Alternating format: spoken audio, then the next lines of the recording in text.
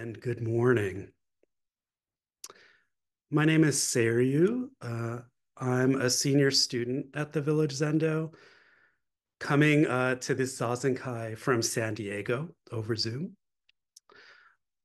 It's really wonderful and for me, healing uh, to be with you all this morning, to feel the continuity of our practice, even across the, the pixels and the, the Wi-Fi transmissions, um, to feel with you in community and Sangha, even in silence.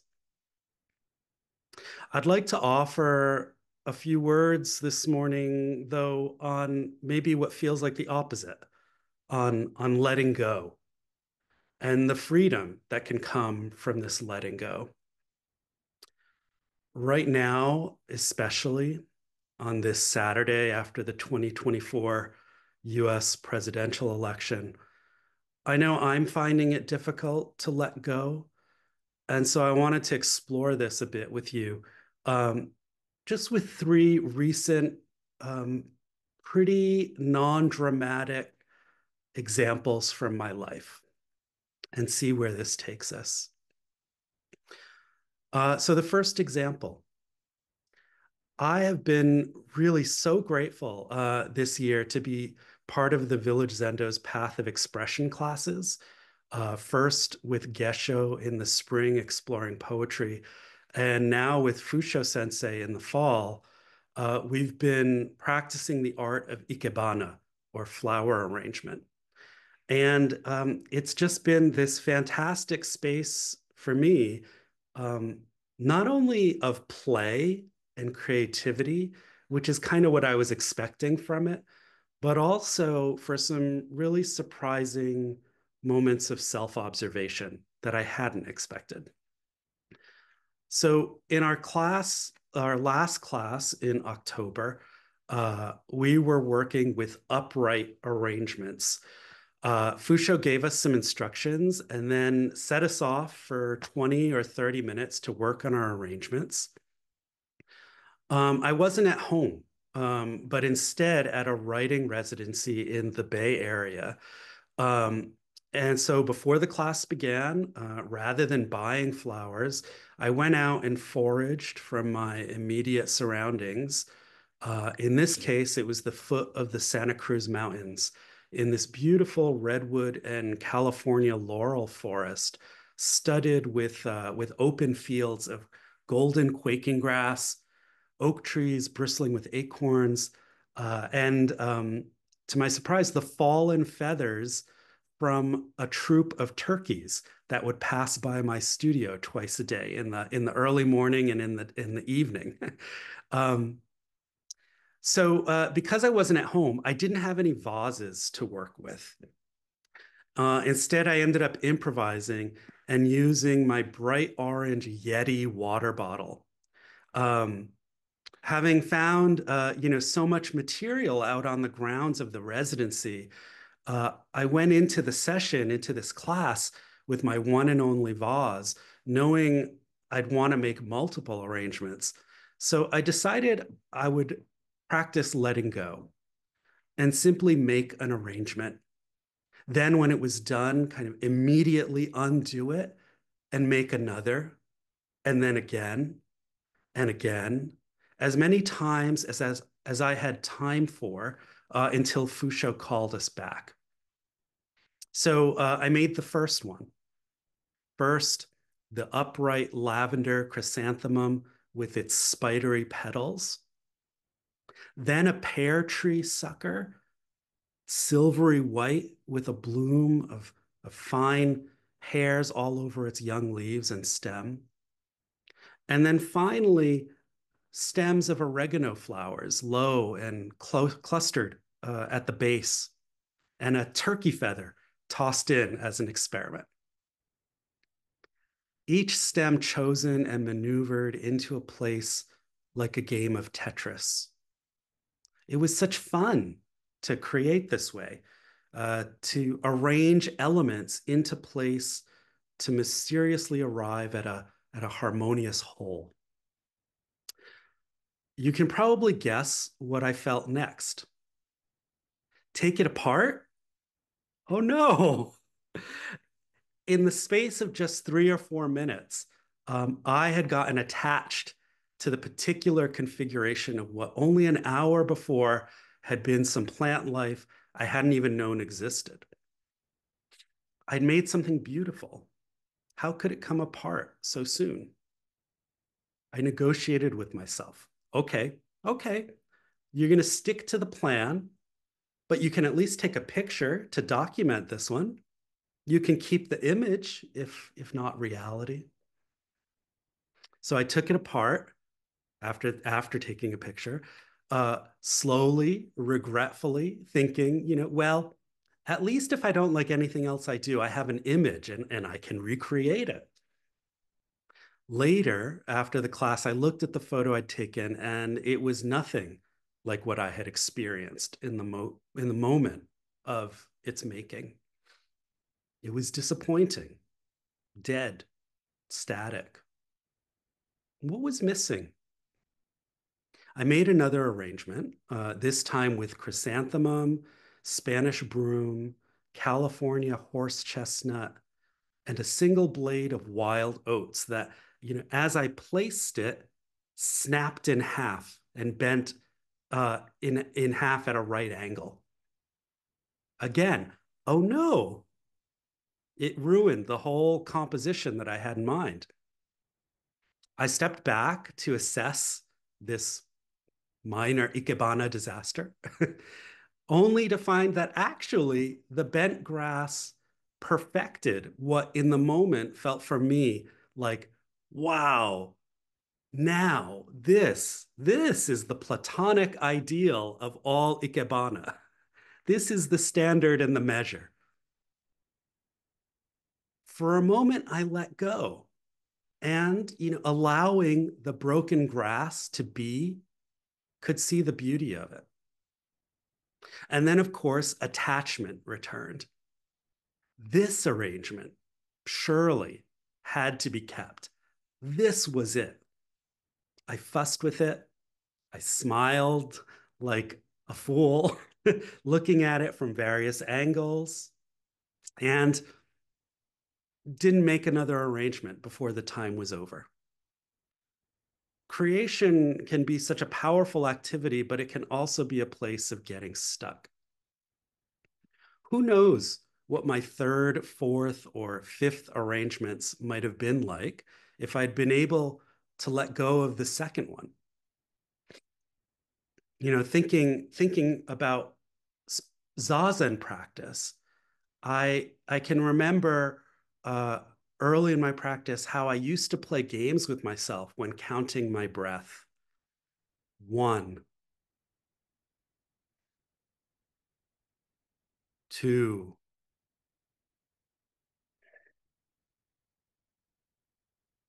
three, blah, blah, blah, blah, blah, blah, blah, blah, blah, blah, blah, blah, blah, chattering thoughts in lots of different directions oh, well, I know I was at three, so let's just go on to four. Four.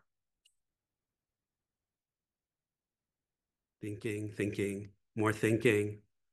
Where was I? Five, I think. Okay. Six. Have to get to 10. Must reach 10 where was I? Eight, eight. Breathe. I remember being, I was so fixated on some idea that getting to 10 was a beautiful thing, an achievement of some sort, that I would game the practice rather than begin again with a new arrangement of breaths, starting over at one and simply seeing what that might be like. So a second example, um, if difficulty letting go of our creations is one problem, then letting go of our pre preconceptions so that we can create an is another. Um, because I drove up to this writing writer's residency in the Bay I was at, uh, I was able to bring some art making supplies with me to work on alongside my writing. So um, forgive me, uh, but since I'm giving this talk over Zoom, um, I think a little show and tell will help um, at this point.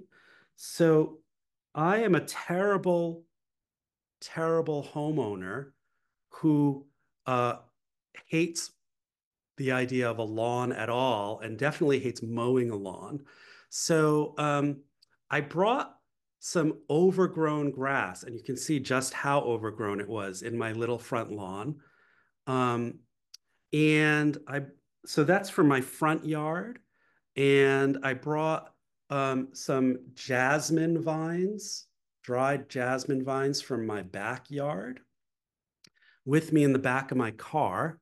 Um, and um, and I brought them up with me uh, to the residency to try to make something.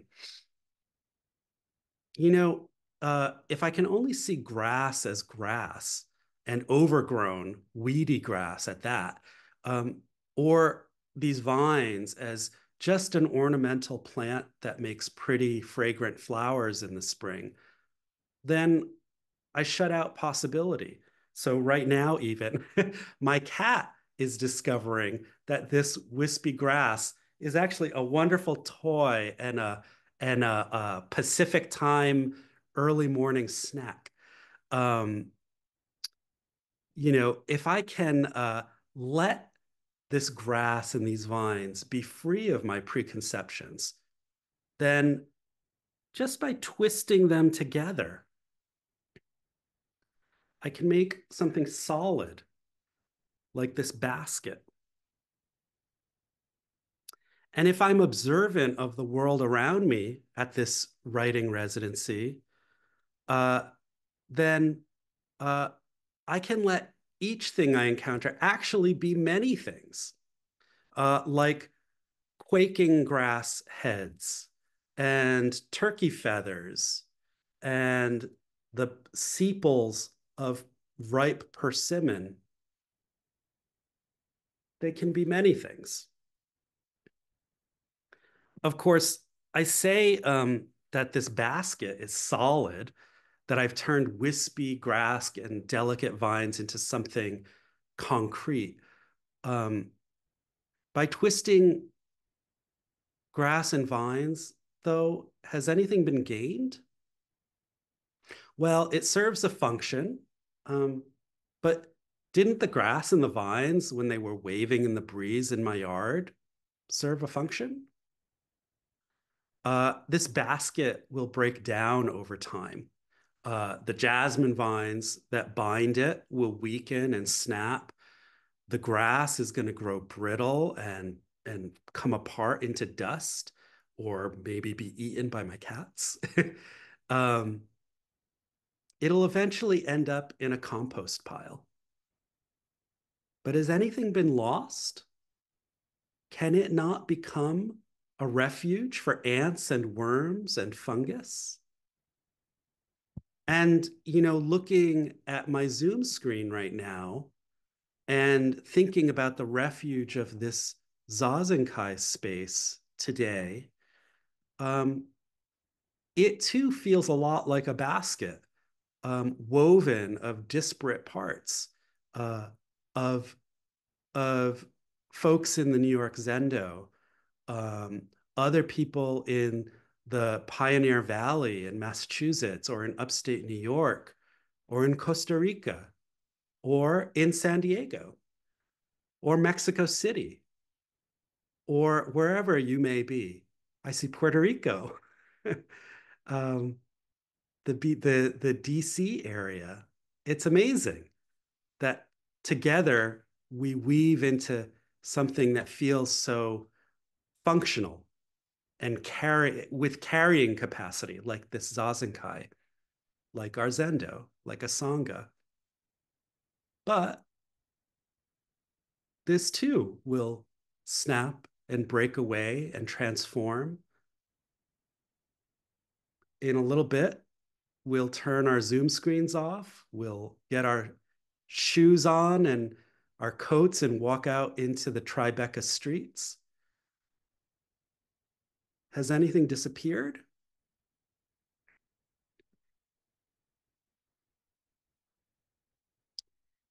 The third example of letting go in my life these days um, just happened yesterday.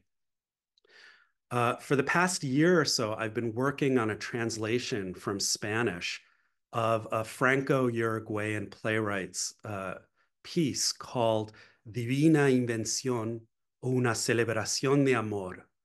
Uh, in English, Divine Invention or the Celebration of Love. Uh, when I first read it, I was really taken by it about two years ago. And I, I, got in touch with the author and asked his permission to translate and publish it. And he graciously agreed. And so I proceeded to work away at it, uh, turning in the final proofs just before Summer Ango this year to the publisher. Um, this highly regarded micro press that lovingly sets the type by hand and, and letter presses by hand um, a limited edition of 100 numbered copies. Um, so, uh, so my copies arrived in the mail earlier this week, um, and they are gorgeous material art objects, and hopefully also a, a fair translation of the original. Um, this is the first time I've worked on an extensive translation like this, and like flower arranging, I had so much fun wrapping my my mind uh, around the idiomatic ambiguities of certain Spanish terms and finding the artful English word or phrase that would capture it. Um, I had, so to speak, made a beautiful arrangement of words and was proud of it. Yesterday, Friday, uh, in a casual internet search, I came across the web page of another English translation of this very same text, published by a major press in August. The writer never mentioned that there would be another translation. Um, and in a certain light, the fact of this prior publication from a major press makes mine from a tiny venue irrelevant, even worthless. At least um, that's how I've been feeling in the past 24 hours, if I'm being honest with you. This work arrived in the mail on Monday, and I held it in my hands, and I was its translator. On Friday, was I still its translator anymore? Who was I? So, why am I talking about baskets and flower arrangements and um, some publishing hijinks? Um, because in this moment, it feels like our country is an arrangement being dismantled, like a basket of woven differences fraying and coming apart, like an identity crisis. How can we practice in this moment? While weaving the basket over the course of October uh, and knowing I'd be giving a talk at the beginning of November, my mind kept going to the koan Keichu Makes Carts from the Mumonkan. It's case number eight. Um, and now, in the wake of, of the Tuesday election, uh, it feels more appropriate than ever and has really taken on a, a kind of a different resonance for me. Um, here's the koan. Master Getan said to a monk, Keichu made a cart whose wheels had a hundred spokes. Take both the front and rear parts away and remove the axle. Then what will it be? Master Getan said to a monk, Keichu made a cart whose wheels had a hundred spokes. Take both the front and rear parts away and remove the axle. Then what will it be? Since Wednesday, since I woke up to the news of the election results, uh, this image has been haunting me. The US feels like the wheels have fallen off and the axle broken. What now? Take both the front and rear parts away and remove the axle. Then what will it be? Then what will the US be? When I was making my flower arrangements, it only took me a few minutes to become attached to what I had created. How much more so for many of us? The beautiful arrangements of our society that, that have been made through so much hard work and struggle. To name just a few legal recognition and medical care for trans and gender nonconforming people, an arrangement arguably still in process and incomplete. National legal same sex marriage, an arrangement almost 10 years old. The protection of dreamers, 13 years old. Women's bodily autonomy, 51 years old. Democracy itself, almost 250 years old. Many of us, um, I think, fear, and, and with good reason, that these arrangements are soon to be dismantled. I've heard Enkyo Roshi in the past speak about the etymology of the term dukkha, normally translated into English as suffering. The ka is an axle hole in a wheel, just as in Keichu's cart, and du is difficult or bad. Thus, suffering is like a badly fitting axle that doesn't fit into the center of the wheel correctly. And so the wheel clunks along, upsetting the whole cart it carries. How is this suffering? One half of the country right now is arguing that the other half has chiseled the wheels badly and ruined the ride for everyone on the one hand, rent and food are too expensive. Perceived others, whether immigrants or trans people, threaten society. The future is uncertain. Or, on the other hand, truth is being ignored and lies spread. Violence is being uplifted as a viable option racism, xenophobia, transphobia, homophobia, and misogyny are being normalized. The future is uncertain. I freely uh, admit to being part of one particular half of that dukkha blame game. But in both cases, each side is disappointed with the gap in the hole between axle and wheel, between their ideals and reality and thunk, thunk, thunk. They're jolted by each turn as the cart bumps along. I'd humbly offer that our practice suggests a different approach, though. In the Lotus Sutra, there's a parable about a father whose children are trapped in a burning building. They're so trapped that they don't even realize they're trapped at all. They're too busy playing with their toys inside as the walls and the floor and the roof burn in the blaze, ready to collapse at any moment. Our house right now does feel as if it's on fire. Though rather than playing, it feels as if we children are fighting each other, pulling, pulling at each other's hair and wrestling each other to the ground. The father outside, desperate to get his kids outside to safety, uh, devises a plan. For each of them, he builds a different kind of cart, each pulled by a different kind of animal, as a kind of toy that will coax them outside.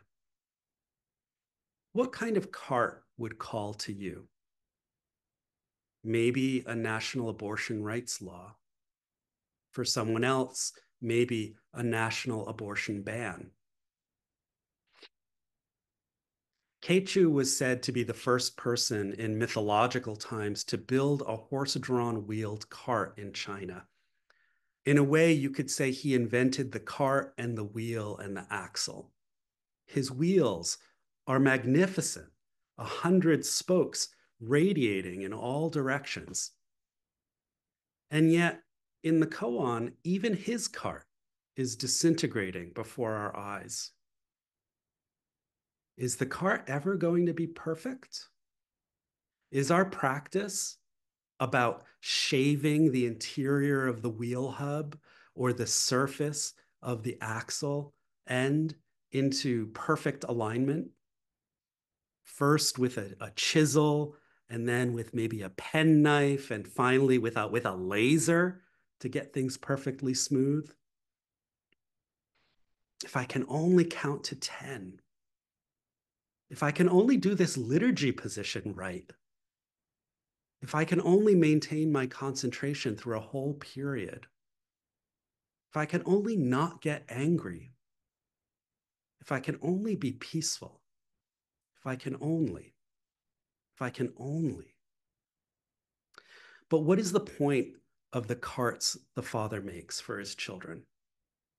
The carts are not the prize. A smooth ride is not the prize. The point is to leave the burning building. The point is to stop burning.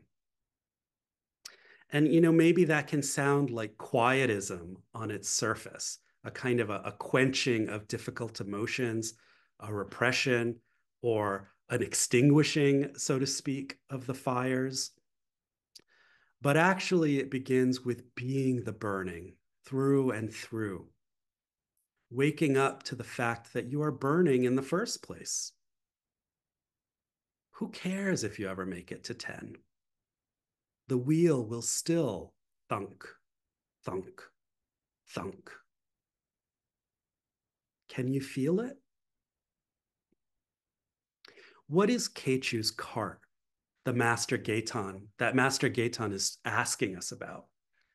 What is it that is carrying you even as its front and rear parts and axle disappear. Right now, the national cart broken down on the side of the road without axles or wheels, just a wooden box. What is it? If I can let go, maybe like the grasses in my front yard, I can see it for something other than broken. Yes, Maybe it's a coffin. But maybe that same box is a garden bed filled with soil and manure.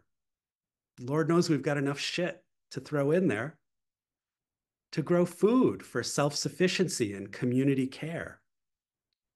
Or maybe if it's turned upside down, it can be a podium for getting up onto and becoming an activist, working to organize with others.